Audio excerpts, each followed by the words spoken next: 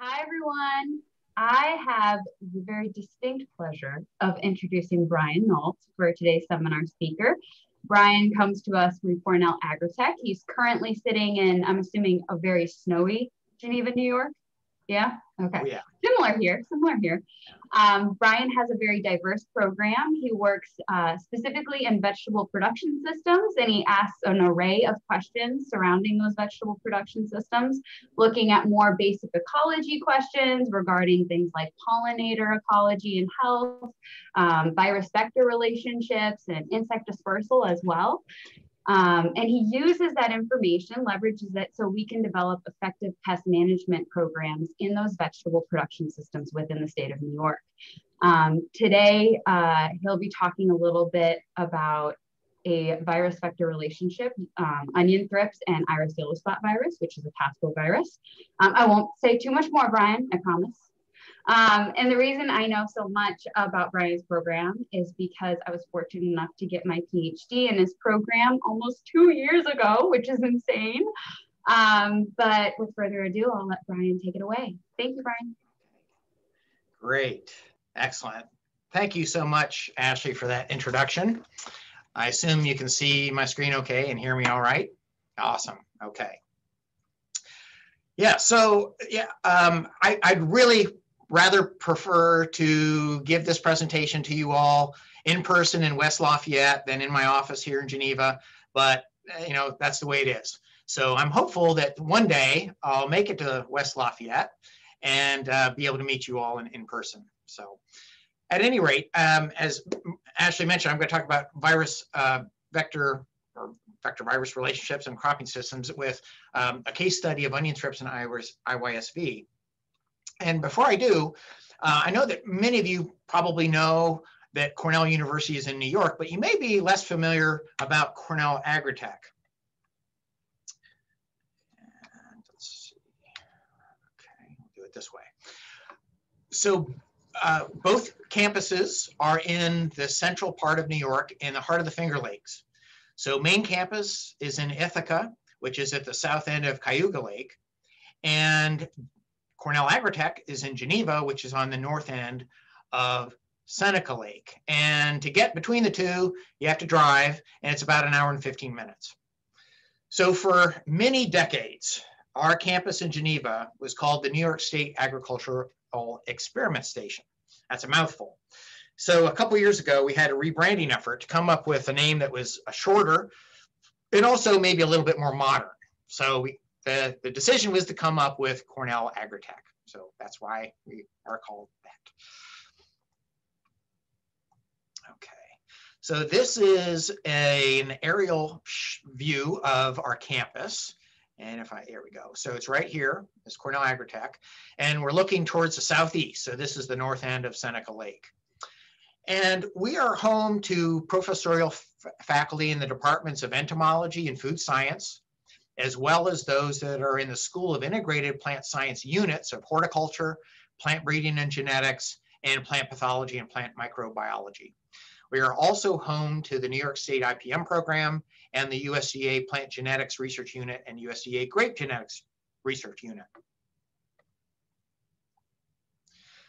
So the mission at Cornell Agritech is to create future food and ag systems by working across disciplines to explore questions from all sides and then translate our discoveries into practical solutions that help growers and businesses thrive. And we focus on specialty crops. So that's tree fruit, small fruit, grapes, veggies, hops, hemp, shrub willow, and turf. So what do I do at Cornell Agritech, well, I lead efforts in the vegetable entomology program. And I've listed four general research foci in my program. The first two more fundamental in nature, the last two more applied in nature. So I studied the biology and ecology of insect pests that attack vegetable crops, and I've included all of the ones that I've worked with on this slide, and then there are others as well. Uh, I also study the epidemiology of insect transmitted plant pathogens, especially viruses in vegetable systems. And then I use this information to develop IPM programs for these pests. And then I also really enjoy working with growers to implement these IPM programs. The project that I'm going to talk about today includes a relationship between a major pest of onion, which is onion thrips, and they also are a vector to a major pathogen that impacts onion, and that's iris yellow spot virus. I'm going to talk about these relationships within the onion agroecosystem with the idea being that some of this information then can be used to develop management strategies for both. So onion thrips and iris yellow spot disease are major threats not only to the New York onion industry, but to the US onion industry. So annual losses from damage reach about 90 million annually. If you add the cost of insecticides used to kill thrips, you add another 12 and a half million. Over the past, I guess, 13 years now, I've led a multidisciplinary research team to address these issues.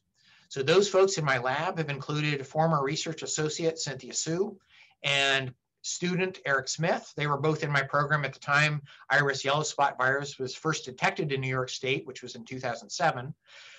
Everybody knows Ashley. And then my current technician, Riley Hardy. Then I also have collaborators at Agritech, includes plant virologist Marc Fuchs, fellow entomologist Tony Shelton, and then folks on main campus, weed scientist Tony DiTommaso, entomologist and aerobiologist Elson Shields, and then Christy Hoepting, who is a Cornell Cooperative Extension educator who has responsibilities with onions and works more closely with growers in the central and western part of the state. Now, I'm going to say we a lot during this presentation. And when I say we, I really mean these folks, especially Ashley, Eric, and uh, Cynthia. This is a outline of what I'm going to cover today.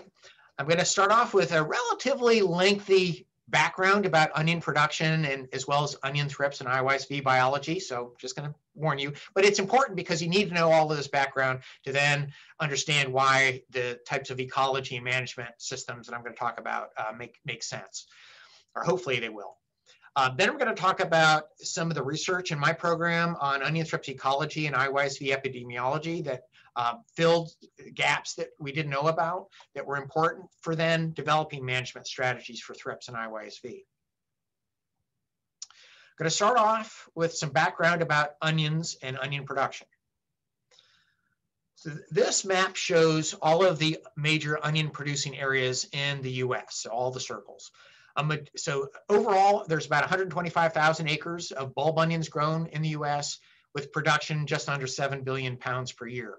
A majority of our production occurs in the Western US. However, in the Great Lakes region, New York leads the production. Within New York State, about 40% of our dry bulb onions are produced in the southeastern part in the black dirt in Orange County, with the remaining 60% spread throughout central and western New York. We've got 7,400 acres. We're ranked seventh in acres in the US with average production about $43 million per year. This is an aerial view of the Elba Muck, and this is home to the second largest onion producing area within New York State. If you look at this area, it's like, oh, that could almost be a lake or a swamp. Well, you know what? You'd be right, because in 1900, that's exactly what it was. And they cleared all the stumps and the trees out of that area, and it left these really fertile soils that are very, very high in organic matter. Really great for growing vegetables. And there are a lot of mucks, not just the Elba muck, but all scattered throughout New York and, and really uh, throughout Eastern Canada as well. Now, we plant onions anywhere from the very end of March through about mid-May. And most of the crop is established by planting seeds. But 25% is transplanted. And now let me explain why. So essentially by transplanting onions, you give the crop a head start. And why is that important? Well, the more leaves on the plant at the time that crop determines it's going to start to bulb, the larger that bulb is. So the more leaves, the larger the bulb. The larger the bulb, more money. So that's one aspect. The other is by transplanting, especially an early maturing variety, you can harvest that crop earlier. And oftentimes, if you're the first one to harvest, there's more of a premium. So you get more money because you have a larger bulb and you get more money because you're filling a time when you really need those onions. Okay. Uh, then in June and in July, the crop is intensively managed to control weeds, diseases, and insects. And then harvest can be as early as mid-July through early October. Many of you may not know, but onion is actually a biennial. It's got a two-year life cycle. But for onion bulb production, it's grown as an annual. So seeds are planted in the spring, and then the crop matures late summer, early fall. Now, not every single bulb is going to be harvested. Some of them actually slip through the harvester, believe it or not. And if that bulb survives our harsh winters, which some do, uh, they will actually put down roots and leaves the following spring. And if you let it go long enough, it'll actually produce a scape that will then produce seeds. We call these volunteer onions. Now, these onions aren't worth anything. They're, they, they have no marketable yield at all. But the reason I'm mentioning it to you now is because they could be a source for the virus and potentially a host for thrips. And I'll get uh, into that more later. Moving on now to onion thrips. Despite its name, onion thrips is actually a polyphagous pest with a huge host range, including hundreds of species. And it's a major pest of onion worldwide. If you look at the map now and all of the red circles, these are all areas where onion thrips is considered a major pest of onion. The sole exception is down here in the Vidalia onion production region, where it takes a back seat to tobacco thrips, Frankliniella fusca. Onion thrips damage onion by feeding on foliage. And when they do so, they remove chlorophyll and if the infestation is high enough, they'll actually turn the leaves white. And you can kind of see from this picture that this plant has whiter leaves than this one. And if this damage occurs early enough in the, the, uh, the growth stage of the crop, you can have yield reduced by up to 60%. Onion thrips also can spread plant pathogens. We know it's the major vector of iris yellow spot virus that I'll talk about in a little bit. It also is a known uh, vector of the bacterial pathogen Pantoea ananatis that causes bacterial center rot. And then we also know that its feeding on foliage can exacerbate foliar outbreaks of, thing, of things like uh, purple blotch and Stemphylium leaf blight. And to make matters worse, this insect is notorious for developing resistance to insecticides. So it's a, it's a pretty bad actor. We do know where onion thrips are in the landscape. We know that they overwinter in the soil. We know that they emerge in late April and May. At this time, onions aren't available for them, so they've got to be in other hosts. So we know that they'll feed on a number of weeds that you can find along ditches next to onion fields.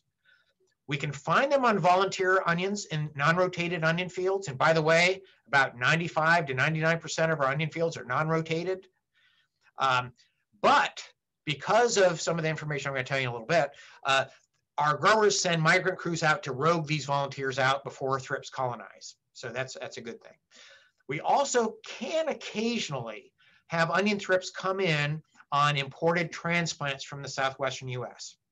And then finally, we know that alfalfa and wheat are excellent hosts for onion thrips. And then when alfalfa gets cut and when wheat matures, the thrips will then migrate in mass out of this.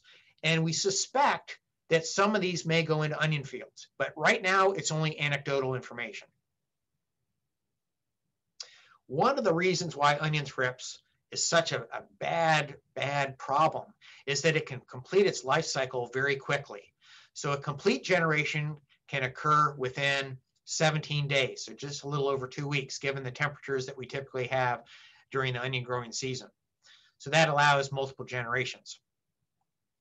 This diagram shows the period of when onion thrips can be an issue during the onion growing season. Typically, adults aren't coming off of those other hosts that I just told you about and interested in infesting onion until those onions have about three to four leaves. And that's going to happen sometime in June, typically mid to late June. So in some years, you could have as many as three to four of these overlapping generations in a kind of a late maturing field. Now, with an early maturing variety that gets harvested in July, maybe you only have a couple generations. And now, finally, let's talk about the virus, iris yellow spot virus. Which is a single-stranded negative sense RNA virus, and it belongs to the family Tospoviridae. So you probably have heard of tomato spotted wilt virus, which is a major virus that attacks a number of other vegetable crops, especially in the southeast and also in the west. Um, a close cousin, also a tospovirus. Uh, IYSV has a wide host range, uh, over 40 plant species, and the virus causes iris yellow spot disease in onion worldwide. Back to our map, all of the areas that are filled in are areas where IYSV can be commonly found. The exceptions are Michigan and Wisconsin, and also down here in the Vidalia onion production region in Georgia. So what does IYSV do to onion?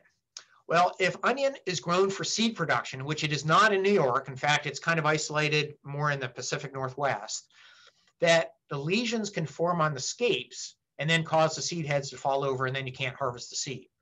For bulb production, the lesions on the leaves can reduce the ability of the plant to photosynthesize and you can have smaller bulbs. But what's really bad is when you have these severe infections that kill the plants before they're mature. Now, when an onion plant matures, the leaves fall over normally. When they die prematurely, they die, we call standing up. So you can see this, that they're dying, the necks are soft. And what we find is that these plants that die prematurely end up getting hammered by bacterial bulb rot pathogens. So you basically can have a complete crop loss when this happens. This figure here shows the temporal progression of IYSV epidemics in onion fields. So on the y-axis, we have the percentage of sites within onion fields that test positive for IYSV over time. And what you see is that yeah, relatively low levels of the virus through really mid to late July. And then you can have these exponential increases of virus where the thrips are just spreading the virus from plant to plant within fields and then also between fields, or at least that's what we suspected. Here is an onion field that has been completely 100% infected with a virus. Um, complete loss. So you see these plants, yeah, there are plants in the field, but they're about the third the size they should be. And the bulbs are maybe half the size that they normally would be. And then again, because they died standing up, they're going to be ravaged or they were ravaged with bacterial bulb rot. This is when a triple, fee, triple G fields, by the way, Ashley. We have a pretty good handle of where the sources of IYSV are in New York. So we know that plants imported from the southwestern US can have the virus and then are transplanted in New York. We know that volunteer onions can be a source. So those from non-rotated onion fields, but again, as I mentioned, these are now rogued out pretty uh, religiously, which is good. And then we can find them in cull piles. In fact, the very first case of IYSV in New York State was found on a plant in a cull pile in, in uh, Elba. There are a number of non-annual plant species that are hosts for the virus and also hosts for the thrips. And then finally, this virus is not seed transmitted in onion.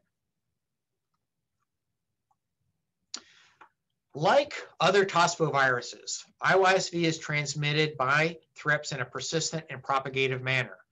And it can only be transmitted by onion thrips to onion. Has to be acquired in the larval stage. Adults cannot acquire it. Once the larva acquires the virus, the virus replicates within the midgut, then the virus moves into the salivary glands, at which time second instars and, and adults can transmit it.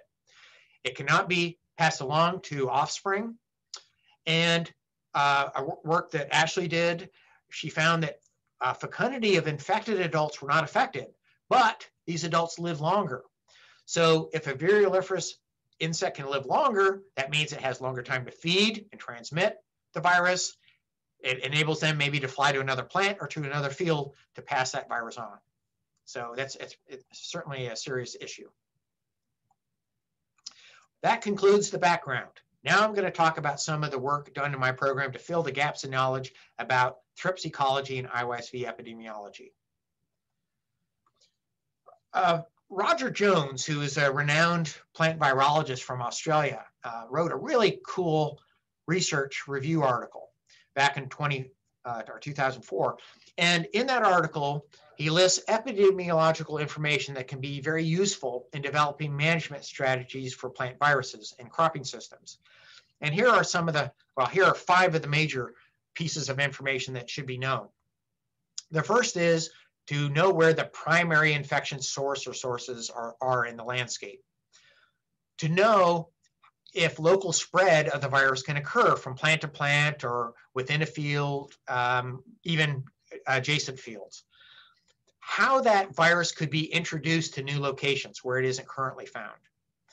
How that virus can survive outside of growing periods. Well, that's pretty important in a state like New York, where you have, you know, basically nothing happening for maybe four months, five, okay, six months out of the year.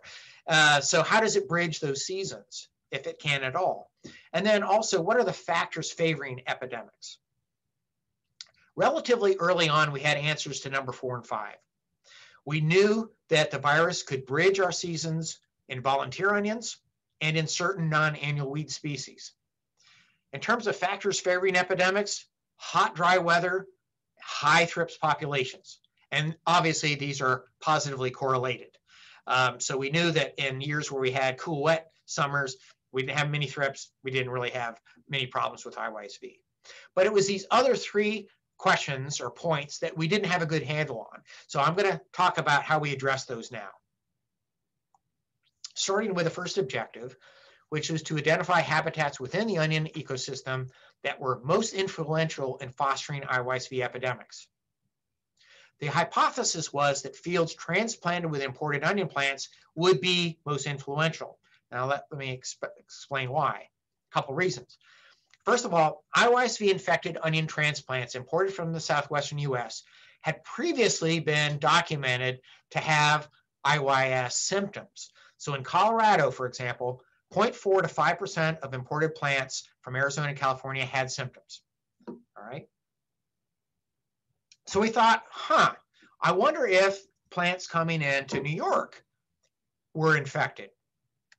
So uh, soon after Ashley arrived in my program, she looked into this. So because these plants come right out of these crates out of tractor trailers, there's they're bare, we call them bare root because you can see the roots. I mean, it's amazing that these things can actually live. Uh, they're, they're, they're in terrible shape. And what we were concerned about that if they were infected with a virus, we might not be able to detect it because they're not, the, the titer may be really, really low.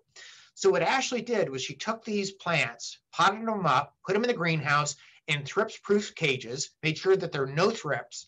And then after two months, allowing the plants to grow, ideally, if there any were infected, the virus would replicate at a level that we could easily detect it using DAS-ELISA. And DAS-ELISA is a fantastic tool to use for detecting the virus. So she grabbed five different varieties, and in the first year in 2014, she looked at 829 plants. Guess what? No hits. So we look, okay, that's fine. Well, always do things more than one year. that's one thing I've ever learned. Never stop after one year. Uh, 2015, repeated the study. Little under 800 plants. Guess what? Seven were positive. Still, seven. That's not very many, right? So even if you average the years, the average percentage of plants that were infected with IYSV is 0.4%. Well, ironically, that's exactly what they found in Colorado. But 0.4%, eh, that's probably negligible, right? Well, let's look at that a little bit more closely. Here's a 30 acre onion field in New York State. Most of our growers plant around 130,000 plants per acre. If you take our average of 0.4% infected plants, times 130,000 plants that are planted, transplanted per acre, you get 520 infected plants. 520, eh, that, that does seem maybe a little bit higher, doesn't it? Well, this is a 30 acre field. So now you take the 30 acres, multiply it by the 520 infected plants. Uh-oh, we got a problem. 15,600 IYSV infected plants potentially in this field. Now we're talking about a pretty sizable inoculum source if these plants are coming in infected. So another component that why we thought maybe transplant fields were a major source or the major source was that we thought that these fields are going to be preferentially colonized and thrips populations are going to get started in them first. So we looked into this in 2007 and 2008. This was uh, Cynthia Hsu conducted this work. And she sampled onion plants in transplanted onion fields and in seeded fields in June before there were any foliar insecticides applied. And she found, indeed, there were significantly more adults in transplanted fields than in seeded ones. All right. Why? Well, we believe it's because the plants were a lot larger. I mean, these these uh, direct seeded plants only had one or two leaves, and whereas the transplanted ones had at least three, sometimes five or six. So we believe that's why. This is also really important. Not only were they colonizing the plants, but they were laying eggs, and these eggs were hatching. And we had significantly more larvae in transplanted fields in June than we did in seeded fields. Now, this is important just by numbers reason, but also remember that IYSV is not seed transmitted. And what stage can IYSV be acquired? Only during the larval stage. So these fields here, the direct seeded ones, even though they were larvae, they weren't acquire, acquiring the virus because it's not seed transmitted. And so this is basically a non-issue. Not necessarily the case in transplanted fields, because again, I just showed you, these plants may be coming and infected, larvae may acquire the virus, they mature to adulthood, and now you've got that little needle flying around in the landscape ready to infect plants, right? Oops. Okay, so to address this objective, we monitor the abundance of viruliferous onion thrips adults within and near potential IYSV source habitats. All right, both early and mid-season as a proxy for identifying that primary source. So these were the habitats that were monitored for viruliferous adults. We chose cull piles that had these volunteer onions, non-annual weeds that were found along ditch banks next to onion fields, and then transplanted fields. So here's a photo of a transplanted field that is matured naturally. Those onion leaves are falling down. Uh, that's normal, okay? Next to a seeded field where the crop is not nearly as mature, okay? And, and the crop is standing up. So we actually sampled, and I say we, Ashley, sampled these, and this was considered a negative control, right? Because again, it's not seed transmitted. So early on, we wouldn't expect there to be uh, IYSV in these fields. So this was a two-year study, and each habitat was replicated four times. We chose to do this in the Elba muck because we knew that this is where IYSV was more, most common in the state. And all of these little symbols in yellow represent these different habitats. And, and the point here is that they were all within the, in the Elba muck where either there was an onion field or, or near an onion field, with the exception of three out of the four cull piles, which were here. All right, why were they outside of the muck? Well, it's because they were right next to the packing sheds. And that's where culls go. The misshapen bulbs, the rotten bulbs, all go right out the door into these cull piles. Uh, but we felt like, well, maybe a thrips could move a virus from these cull piles into the muck. We didn't know, but we, we wanted to sample those areas. So I just wanted to, to make that clear. The onion thrips adults were monitored using yellow sticky cards, all right, here, right here. And they were placed in all of these habitats and they were monitored weekly uh, in June and July. So what we did was we binned the information um, over those weeks in June to provide an estimate of early season activity, and then in July for our mid-season activity. And then the adults captured on those sticky cards were removed and then assayed using RT-PCR to determine whether or not the insect was viruliferous or not viruliferous. And then the number of viruliferous adults was estimated based on the abundance of those on the sticky cards and the proportion of those that were testing positive for the virus. And in the interest of time, I'm only going to show you the results of one of those two years. All right, so in 2015. So on the y-axis, we have the total mean estimated number of adults testing positive for the virus per card. in the different habitats. So the cull pile here, the weedy area here, transplanted here, and seeded here. In June, early season, no differences. In fact, we hardly found anything that we would estimate to be viruliferous. That sure changed in July. Significantly more adults were predicted to be viruliferous in transplanted onion fields compared with the other habitats. So essentially, we've got our smoking gun here. The transplanted onions were the major source for a virus in our landscape. If we look at New York State and the areas where plants imported from the southwestern US were established, only two locations. The Black Dirt area in Orange County and the Elba Muck in Orleans County. 15% and 35% of the acreage transplanted respectively. So where do we see symptoms of iris yellow spot disease? In those two locations. Okay, so that's anecdotal information, but it pairs up pretty nicely with the empirical information of what we learned in the Elba muck. So to answer that first question, what are the primary or what is the primary infection source or sources? We have our answer. Onion fields transplanted with these imported plants from the southwestern US. Moving on now to the second one. What about spread of the virus from plant to plant? So our, our objective was to determine well, do onion thrips engage in short distance dispersal that would allow them to spread the virus within and between fields? And our hypothesis was that onion thrips adults would primarily disperse, in fact, short distances. And to address this objective, we monitored the abundance of onion thrips adults in onion fields captured at different heights above the onion canopy as a proxy for the distance of dispersal. Now let me explain. This is a cross section of the atmosphere.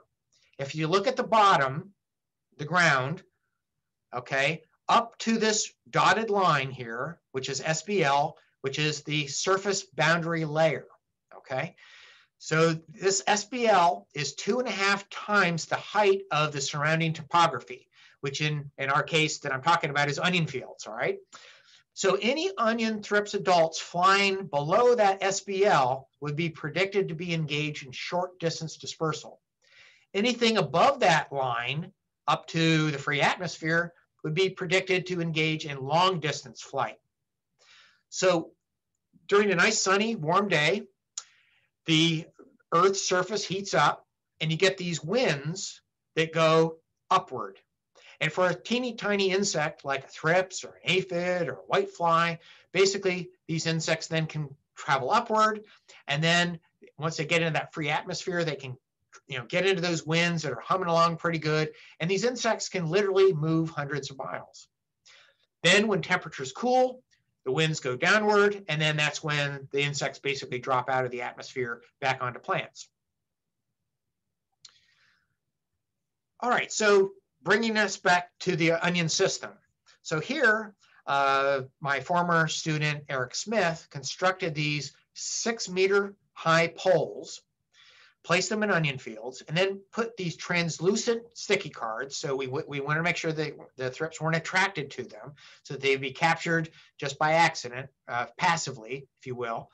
Wrapped them around at these different heights where you see the yellow arrows, so a half meter all the way up to six meters. And then he monitored these sticky cards um, every day, sometimes multiple times a day, over the course of our onion growing season. Uh, the SBL was calculated to be two and a half times the height of the surrounding topography, which in this case is onions. We estimated that to be two meters. Again, in the interest of time, I'm only going to show you um, the basically the pooled results over a couple years. And just to orient you, now the dependent variable is actually on the x-axis. So this is the mean number of adults per card log transformed. And then the altitude of those sticky cards above the soil surface, a half a meter above to six meters above. Our SBL here was at two meters. So a majority of the thrips were captured on those sticky cards that were below the surface boundary layer. In fact, 96% of the thrips we captured over the course of the season were captured basically below that SBL, indicating that those thrips were engaged in short distance dispersal. Very few were engaging in this long distance dispersal, 4%. So taking this a step further, we wanted to know, well, do these onion thrips then, since they disperse short distances, do they then move from, say, a transplanted field that might have high levels of virus into an adjacent seeded field? And remember, you know, a, a small percentage of the landscape is transplanted. A majority is seeded, right? So we were worried that maybe the thrips were moving the virus into seeded fields late mid, uh, mid to late season. So what Eric did was he found a number of scenarios where there's a seeded field adjacent to an early maturing transplanted field, or ones that were seeded as well, a similar maturity. And the prediction was that he would catch more or find more onion thrips on plants in this scenario than in this scenario because the quality and suitability of the host here in this maturing transplanted field was poor, onion thrips were looking for something better and that they had reason to move, whereas they may not have reason to move from here to here. And indeed, that's exactly what he found in this three-year study, that there are more thrips on plants, on seeded plants next to the transplanted early maturing fields than those in a similar maturing seeded field. In fact, 54% more adults were captured in this scenario than in this scenario. So another interesting find was that we noticed that the progression, or actually no, the, the percentage of onion thrips adults that were testing positive for the virus reflected what we saw in fields. And that was sometimes an exponential increase in, uh, in the virus. And in fact, look at this 55% of the thrips we sampled in August tested positive. I mean, that's that's unbelievably high. So that means that these critters are just moving um, into the landscape, moving from these transplanted fields into seeded ones, and, and a you know, high number of these are transmitting the virus to, uh, to plants. So to answer that second point about local spread from plant to plant, oh yeah, viruliferous thrips are definitely moving short distances, and they certainly are moving from these transplanted, uh, uh, mature, excuse me, mature transplant fields into nearby uh, seeded ones. All right, then moving on to the very last point, and that's can the virus be introduced to new locations, like you know, far away locations? Uh, and obviously, we, we knew that, yeah, they can be on a truck from Arizona to New York and they could be introduced that way, certainly. But we were curious to know, well, what about thrips? Could thrips move it uh, long distances? So our objective was to determine if onion thrips adults engage in long distance dispersal and if any of these thrips were viruliferous. And the hypothesis was, yeah, we believe that thrips also have the potential to disperse long distances. Now you may say, well, Brian, you just answered that question in the previous experiment. 4% of those thrips were captured on traps that were four meters and six meters above the canopy. So why are you doing this? I can't argue. You're right. I could have stopped there and said, yeah, well, sure, certainly can't. But you know what? There's something that just isn't satisfying to say, yeah, I caught a thrip six meters above the onions. Oh, yeah, it was definitely headed off 100 miles away. Versus maybe catching the thrips 60 meters above the canopy. So that's what we did.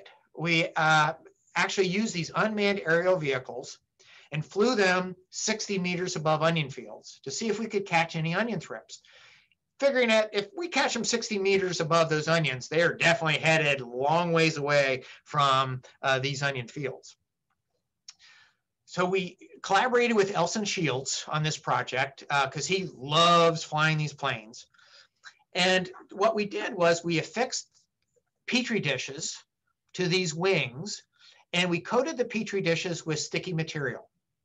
And then we flew these planes for 30 minutes at 60 meters above the onion canopy. And then after 30 minutes, we, we landed the planes and then uh, looked at the plates and then picked off any uh, onion thrips.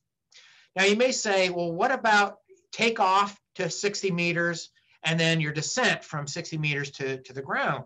You know, you couldn't, you know, you, you might be picking up thrips, right? And then you wouldn't answer your question. Well, Elson thought about this and basically fixed these guards. Now this guard is open right now. So this, when the plane was would be flying at 60 meters, it would look like this. But on takeoff up to 60 meters and from 60 meters to landing, this guard basically would shielded the plates. And then it was uh, using remote control. Once we got it to 60 meters, using remote control, we opened it up like you see here.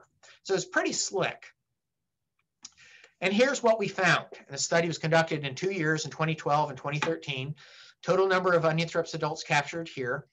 So in 2012, we caught 300 onion thrips. And um, in 2013, which was a year where it must have been cool and wet, we just didn't have very many thrips overall and uh, only caught about 20 thrips. But 20% and 15% of these thrips tested positive for IYSV in 2012 and 2013, respectively. So do or do yeah do onion thrips have the capability of basically flying long distances and potentially establishing you know in another muck somewhere? Yes. Is the chance that they could then infect a plant with IYSV? Yes. We don't know for sure, but certainly that the possibility is, is there. So we concluded with answering all these questions. So we felt like we had a pretty good handle on onion thrips ecology and dispersal and IYSV epidemiology. Now let's use this information to develop management. So that's how I'm going to finish up. Uh, this is a relatively simplistic illustration of the major components of integrated or the tools in integrated pest management. Cultural, chemical, and biological controls, and plant resistance. What I'm going to do is talk about each of these four major areas, how they pertain to managing thrips and IYSV. And I'm going to start with cultural control. Well, it, it seems like a no-brainer to solve this problem. Stop bringing in transplants from the southwestern US, right? Seems like that would be a pretty easy solution. And certainly there are some growers in New York that do grow their onions locally in greenhouses in the wintertime. Relatively small acreages, but it does happen. But our issue is some of our large scale growers. We have one grower that transplants a thousand acres of onions every year. Do the math. 130,000 plants per acre. That's 130 million onion plants transplanted every year. That's a lot. And right now, we don't have the greenhouse space in New York. And also, let's face it, it is really cold in New York. And you have to start uh, these, um, the onions in the greenhouse like in December. Uh, so heating greenhouses, it basically it's too expensive. And um, until there's a way to maybe take advantage of geothermal uh, resources uh, to, you know, basically be able to do this uh, more economically, these growers are still going to import these plants from the Southwest. So um, I don't see this uh, being eliminated anytime soon. Another idea would be, what about harvesting all transplanted fields early? Before thrips really come off of them and you see these exponential increases in IYSV in the landscape. Well, certainly that is done, but not all fields. Remember, these growers can't harvest everything at once. In fact, they because of that, they choose varieties and they transplant certain acreages so that they can basically stagger when they harvest during the course of the season. So essentially, this just isn't practical in, in a lot of areas. What about clustering the transplanted fields in space? Idea here would be to concentrate and better predict the direction of dispersing viruliferous thrips and reduce the spread. So let me give you an example. So prior to the arrival of IYSV, an onion grower's farm may look something like this where there are fields that would be trans are, uh, harvested early in July, those maybe in August, and those finally in September. Well, basically the quality and the suitability of the hosts um, decline when that crop matures and those, those leaves fall over. So they go to the nearest nearby most attractive host, which is going to be the onion fields that are less mature, right? And in this scenario, 50% of the fields on this farm are going to be at risk for invasions of thrips and IYSV. More recently, after talking to the growers that have a lot of transplanted fields, they're now grouping them in the area, like in the Elba muck, for example, and they're they're basically positioning them like what I've shown here. So in this particular scenario, yeah, thrips are still going to be moving virus, you know, to an adjacent field, but now it's more directional. You know where they're going. So on this farm, in this generic example, now only 10% of the fields are going to be at risk for an increase in thrips and IYSV pressure compared to 50% like they were previously. So now you can use border sprays, you can scout this field maybe first rather than this field, and you're going to have a better idea of the progression of both the thrips infestation and IYSV epidemics. So here's another idea. Well, maybe we can't prevent the spread of the virus, but maybe we can make our plants resistant so that we don't see yield loss. And one way to minimize plant stress is through water management. That would be to irrigate the crop when it's dry and remove water from fields when they're wet. Certainly with climate change, there's no doubt we have seen incredible uh, fluxes in our environment. We'll have summers where it doesn't stop raining and it's cool. And we have some summers where we can't get a drop of rain. And the growers realize this. And there's no doubt in the 20 years I've been in New York State, there is a has been a huge investment in irrigation equipment. And also, there's been a huge investment in ripping out that old tile and replacing it with much better, more resilient tile so that when we get standing water, we, we, it won't last very long. And I have some videos of, of some water. You would think that some of these fields are lakes. I mean, you'd think the entire crop would be lost because they're a foot or more underwater. The next day, no water. So they, they have the ability to move, move water very quickly with these pumps and these really good um, uh, drainage systems. Another idea is to optimize plant health and improve nutrient management. This is an area, I'll be honest, I don't know much about, but one thing I do know is that our onion fields are rich in, in nutrients, and these growers are just putting way too much fertilizer on. And I can't help but think that these plants are pretty wimpy as a, as, as a result. And maybe, you know, the virus is really having their way with it. And maybe if we make these plants a little tougher, maybe optimize nutrients, maybe they could ward off uh, the virus a little bit better. Moving on now to chemical control. We've made tremendous advancements in how to use insecticides to kill onion thrips and to reduce IYSV. And these guidelines are predicated on solid insecticide resistance management principles. We have a number of effective products that belong to novel classes of chemistry to use in rotational programs.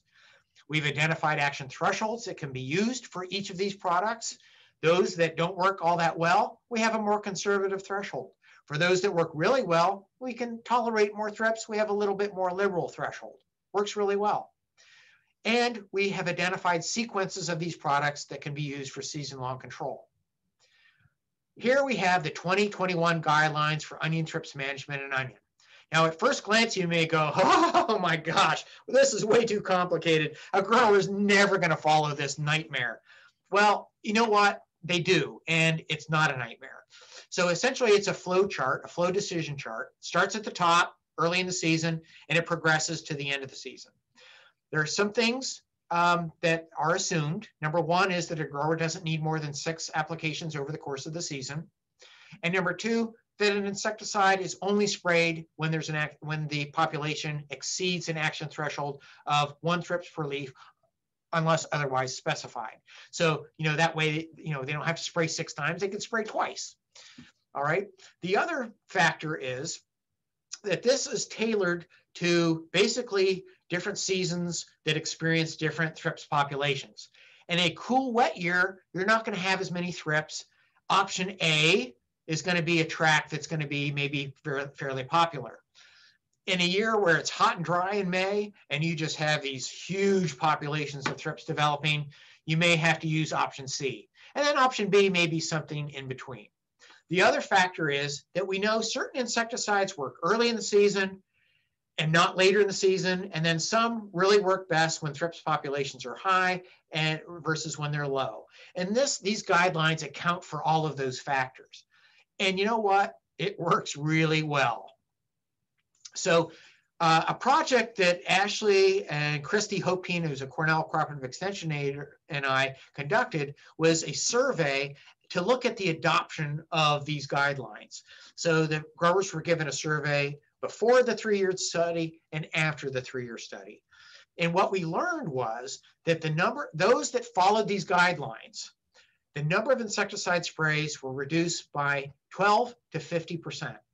And the growers that used the guidelines saved on, a, on average $60 per acre in insecticide costs, which really isn't all that much. But if you expand it to, you know, the entire farm, eh, you know, might be able to buy a new pickup truck at the end of the season with a, what they say. Um, and then also, you know what? We haven't seen resistance to some of the best products like Radiant. So yeah, we can't say for sure that, that this program is why we haven't seen resistance, but we can't say that we can't. All right. Moving on to how in, chemicals can impact virus.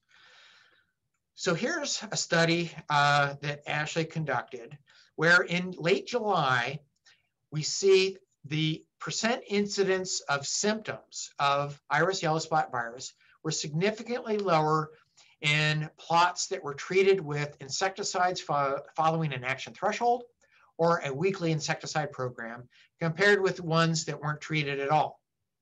Now, two weeks later is all at 100% because once these epidemics get rolling, uh, it's a train that will not stop, okay? However, remember that like a lot of impacts that pathogens have on crops, that if you can delay the incidence and maybe severity until that crop is more mature, you're not going to see maybe as great of impacts on yield. If you look at another factor, which is the severity of the symptoms, again, we see much lower, well, much lower, okay, significantly lower, it's still relatively high, but less severity of IYS in insecticide treated plots compared with those that aren't treated. And then the bottom line is yield. We see significantly greater yield when insecticides are applied than when they aren't. Now, granted, I think the impact here not only indicates a delay in the incidence of IYS symptoms, the reduction in severity, but you know what? Also, there are fewer thrips. So you can't disentangle the impact that insecticides have on thrips versus the impact that it had on the virus. But so I'll concede that point. But nonetheless, uh, it, it, does show that insecticide can be used as a tool to uh, reduce incidence and severity of the virus. One idea that we were really excited about early on, and not just in New York, but elsewhere, were plant inducers like Actigard, with the idea being that this would stimulate the plant's defense response, the systemic acquired resistance, to ward off the negative impacts that the virus had on the plant. Unfortunately, it was a swing and a miss. Moving on now to biocontrol. So I had a master student in my program, Elaine Falk, now Elaine uh, Landers, who conducted a, survey over a couple years in commercial onion fields where she surveyed whether or not natural enemies were in commercial fields and then what she found. And you know what? Found a fairly decent diversity of natural enemies with predaceous thrips as number one, but they were at relatively low densities and certainly not densities that would really have any impact on providing adequate control of onion thrips. So right now, biocontrol in terms of uh, conservation biocontrol, I don't see that really being a factor, but perhaps you know entomopathogens, uh, that could be an area that, that has not been explored that could have maybe more traction if environmental conditions are right. And then finally, plant resistance. And let's face it, plant resistance should be the cornerstone, the bedrock, whatever you know you want to say uh, for IPM. And unfortunately, high levels of IYSV resistance have not been identified in onion. There are some cultivars that are mildly resistant, but none that are flat out highly resistant. And that's true also for thrips. There are cultivars that maybe are partially resistant to thrips, but not totally. We do know what the characteristics are that confer resistance to thrips. So for example, onions that are partially resistant to thrips typically have a yellow color, which is associated with low levels of wax, so they have kind of this glossy appearance, and yellow-green color that have a little bit more wax, semi-glossy leaves. And maybe most importantly, is that they have low levels of this H16 ketone. So the varieties that are highly susceptible to thrips have a blue-green leaf color, lots of wax, and high levels of this H16 ketone. Onion thrips aren't the only thing that onion thrips have to deal with. In the eastern US, we have high humidity, we have a lot of rainfall. You know what that good that's good for? Foliar pathogens. And what we see is that these waxes, high levels of waxes provide a physical barrier to these pathogens. Now, it doesn't prevent them, but it certainly helps. So what we see are with these glossy leaf cultivars, they melt uh, due to some of the foliar pathogens that we have in New York. Um, the semi-glossy ones, not as bad, but certainly not as good as the, the ones that have a lot of wax.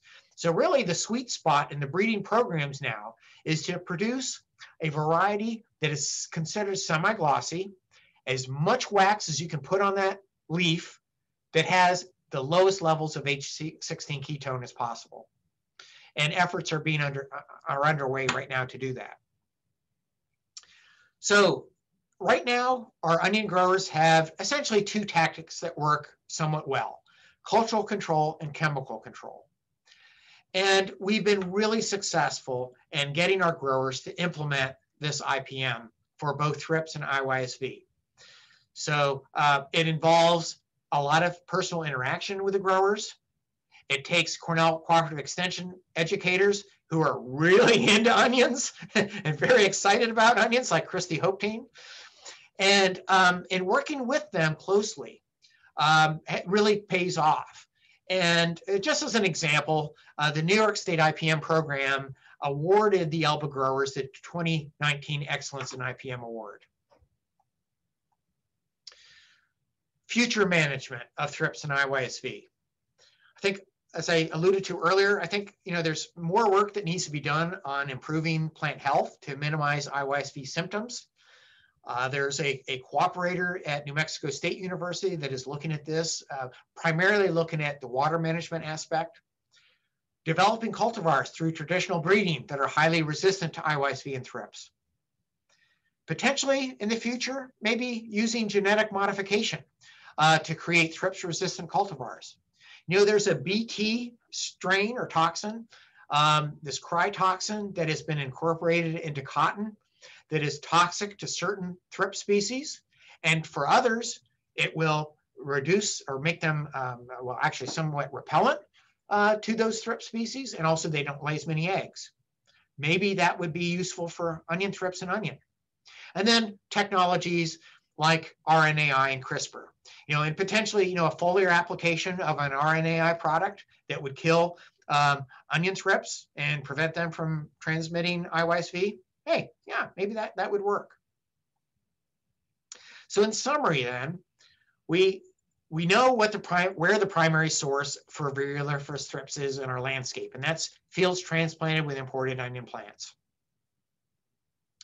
We know how thrips are spreading the virus. Short distance dispersal, and they're moving it primarily from these early maturing fields that are transplanted into uh, nearby seeded ones. We know that there is the potential for onion thrips to move IYSV to other production regions through this long distance dispersal. And then finally, onion growers are taking advantage of cultural and chemical tactics to manage both thrips and reduce virus a, a bit, but you know, further improvement is certainly needed.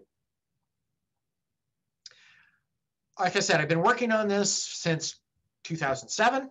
Uh, tons of people have come through my program that have had some role minor or major in this project. The onion growers have been extremely gracious, allowing us to do this research in their fields and other industry representatives. And then a number of federal, state, and commodity board funding sources for this work. Before I open up to questions, uh, whoo, sorry, I didn't know it was that late. Um, I do want to mention that Art Agnello is uh, retiring and uh, we've already got the green light to refill that position. So we will soon be officially announcing a tree fruit entomologist position. It will be at Agritech, uh, an assistant or associate professor rank, tenure track, 60% research, 40% extension. Greg Loeb is the search chair. That's the contact information. And I'd certainly be happy to talk to you about it uh, as well. So with that, um, again, sorry, I, I, guess I went on off on some tangents, but maybe we have a little bit of time to answer some questions. I'm going to stop sharing my screen. Maybe I can see you all. Maybe I can't. um, at any rate, at this point, Ashley, I'm, I'm going to let you direct me if I should go right to the Q&A or chat. What, what would you like me to do? Let's go ahead and go with the Q&A and let's uh, maybe do questions for a couple minutes because I know you have a meeting at noon. So okay, sure. give yourself a break if you need it. I, I just need one minute. That's all. Okay. so um, anybody wants to stick around and listen to some of the answers Brian will have for the questions, feel free to do so. If not, um, totally understand if you want to um, peace out for right now. Um, sure. So the first question um, is, is anything being done by growers and nurseries to help prevent infestation from imported transplants? So something like uh, what we might consider with any type of virus um, uh, program. I, I, fantastic question. Um, unfortunately, no. And I've actually been to uh, the farm in Arizona where most of the onion plants are coming in. And I've talked with the, the farmer there that, that grows these. And, you know, looking at the landscape, there wasn't anything to me that stood out like, ah, there's the source. They're coming in from these weeds or this alfalfa crop or these cotton plants or whatever. Um, I, there wasn't anything apparent, but certainly there's got to be something there. Um, and early on, the grower wasn't spraying them with insecticides before they were moved to um, New York. That has since changed. So we rarely see onion thrips coming in on these plants.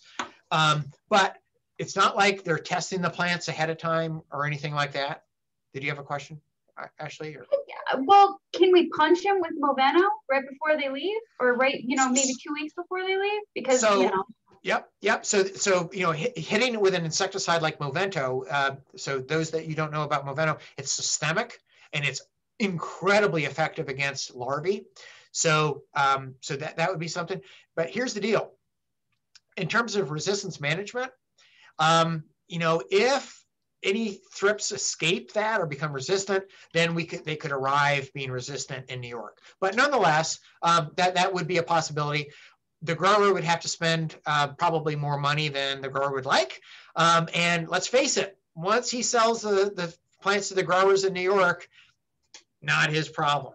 Um, if he had another competitor, like the one in Texas, for example, would you know have virus-free plants, then maybe there would be more of a, a, reason. Unfortunately, you can't identify an infected plant, so you can't rogue them out. And in terms of regulation, there is no regulation at this point. We already have IYSV; it's in our landscape already. So you know that that that ship has sailed already, so to mm-hmm. speak. Mm-hmm. Okay. Uh, so another question that was asked is what makes onion thrips the lone vector in these systems? So maybe just comment about, uh, you know, thrips transmitting IYSV yeah. because obviously there's a difference between onion thrips and Frankliniella, for example. Absolutely. Another very good question. So there's there are two two parts to this. Number one is there is one other species that has been shown to effectively transmit IYSV to another plant. It was a greenhouse study in Georgia the virus is moved from a lisianthus, or no, from an onion plant to a lisianthus plant. Mm-hmm. There's been no documentation of onion or of uh, another species of thrips moving the virus from onion to onion. Okay, so that's one thing. Why? Not really sure uh, why that is exactly. Um, but but anyway, that's that's been the case, and other species have been examined. In our system, like a lot of other systems, we're only dealing with one thrip species. Thank goodness. Um, yeah, we, we do have Western flower thrips in our landscape. they're not interested in onions. It's it's like finding a needle in a haystack to find basically a, uh, a uh, say western flower thrips in an onion field, feeding on an onion plant. So luckily, we're only re really dealing with it, that one species. Uh, the next question from Doug. Um, he is asking about the insecticides specifically that are being used in onion production and noting that some of them are known behavior mod modifiers. So um, potentially what's the chance of these insecticides interfering with the ability of the thrips to transmit the virus, even though they might survive the exposure? Another really, really good question, Doug. Um, so last spring, we had aspirations to look at exactly what what you're talking about. So for exact for example, azadirachtin is known to be a repellent and also potentially an oviposition deterrent and for some insects and some crops. So what we wanted to do was have some growers spray certain fields early in the season during the time when thrips are colonizing our transplanted fields and, and hit it with say an Aza-Direct or Neemazal or something like that. And then other fields where you don't do that. And then watch the progression of IYSV in that field and maybe a neighboring field. But because of COVID, we had to drop some things, and that was one of the first things to go. So we'll see if we can resurrect it. Um, to, to, be honest with you, logistically, it's going to need to be done really on a, a field scale basis. Uh, and and we have growers that are willing to do it, but but to actually be uh, really know for sure how it's working is going to be a little bit tricky. Uh, but but certainly it's a really good question, a good idea, and I, I think it does need to be followed followed up on. So the next question is regarding plant stress and how that basically um, impacts this iris iris yellow spot disease. Um, so is it because a healthy plant can tolerate virus infection better, or is it because the thrips population growth is higher on stressed plants, or is it a combination of both? Yep another really, really good question. Um, okay, so uh, I, I, guess the short answer, I'm going to say both. Um, so what I, what I don't know is if a healthy plant can tolerate virus better, but I, I if I had to guess, I would say yes. It's I'm using a human analogy, right? If, if a human isn't stressed, we can get the virus, we can get COVID and have mild symptoms, but if we're really stressed, we end up in the, in the ER again, I, my guess is it's relatively similar for a plant. Um, and best on uh, what I've seen, certainly with, with drought stress, man, you see terrible symptoms and, um, and uh, due to IYSV compared with a year that's it's uh, under you know more optimal growing conditions. Uh, we do know that if we um, if we cut back on fertilizer, for example, uh, we, we don't unfortunately see a, a, significant drop in the thrips population, but it may be that we just haven't dropped it enough. Um, so uh, again, I think there's more work that needs to be done on trying to find optimization of, of say fertilizer in our system to see you know how that really impacts thrips populations. So I, I think I kind of answered it. And I think with the potassium work that they're doing out west too is very indicative that like the plant stress is a massive component. If we can keep that plant healthy for longer, I think they're able to fight off that infection. So I think you're absolutely right. That's a great point. Um, so the other question is, would it be practical for onion growers to plant tall barrier strips of non-host grasses between mature plantings and seeded fields? With the idea um, of being yeah. able to kind of limit the amount of dispersal. Right, right. Um, I'm very pessimistic and, and the reason I say that is that, and, um, and maybe you kind of got a sense for uh, one of the pictures, I know it's kind of small, but at least in the Elba production region where we seem to have a lot of virus, that there's actually natural wind, not natural, uh, uh, established windbreaks of willow. And these willow plantings basically separate the, um, the onion fields and they, they keep them mowed. Sometimes they're mowed lower. Sometimes they get actually pretty tall. And, and I've looked into this and I've looked at thrips populations on one side of the, the uh, willow barrier and the other, and I and those thrips go right over it. Um, so I really haven't seen much of a difference. And even if there's something even taller, um, I, you know, the, the, short distance dispersal seems to be, you know, they, they, it doesn't seem to be enough of a barrier, I guess is what I'm saying. If maybe it's an entire field, of some other crop, um, I, I, think that would work. But or even you know, I don't know, 50 feet or 100 feet of some other like corn or something like that, um, you know, around the fields, then yeah, maybe it, it could have uh, maybe more of a, an impact. But at this point, um, I, I, don't see growers going to the, those efforts at this point. It have the situation would have to get even worse than it is. yeah. Well, thank you so much, Brian. Very much appreciate your time today. Absolutely. And if I didn't get to everybody's questions, you know, I absolutely I think feel free them. to send me an email. Yeah. I think you got them. Yeah. Yeah. Okay.